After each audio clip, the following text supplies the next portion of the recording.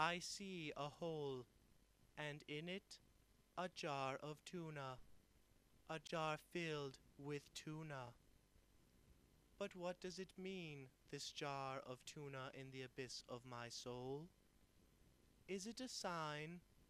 Is it a sign of things to come? Who is this tuna? Then it speaks to me. Your true father is a teaspoon of coffee, it says. If anything had ever rocked me to the core, it was this. The tuna. O God, what then of the tuna? Was its adhesive bandaged soul not now attached to mine? This tuna would be my new brother, and I his appendix. Together we brewed many cups and giggled as we sipped in search of my father. It was a long journey. It was treacherous. Our journey was long and treacherous. We bested giants and conquered midgets. Yes, midgets aplenty. We wore the belts of the greatest kings until spies in the thick come no less to prevent the assertion of my bean scented destiny. We went to run, but it was too late. They had cummerbunds. It was too late for me, but the tuna rolled off. It told me its part of my destiny was over. I awoke to the drumbeats of a thousand nations. They pelted me with plums aplenty.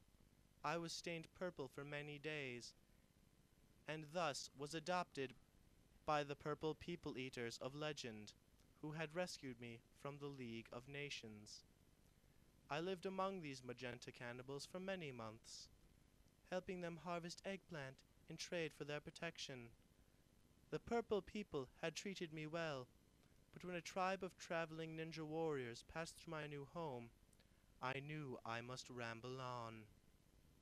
I joined them, for I felt their wisdom could help me on my quest, and thus the lilac-tinted anthro-eaters were left behind, though I soon learned I was terribly wrong in my decision. I had misunderstood my malign mirth, and had not taken into account a montage of malevolence. No, I would not be accessory to this mercury haberdashing. No, this was not my cup of absinthe and orange pekoe. Doom would not be the cream to my sugar. Violent resistance would not be my raspberry ice. I wouldn't let it.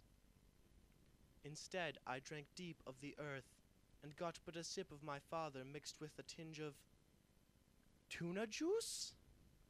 My God, it all made sense now. The tuna had not engaged in abusive abandonment. I was alone nevermore. And reportedly, Paris Hilton had this to say. That's hot.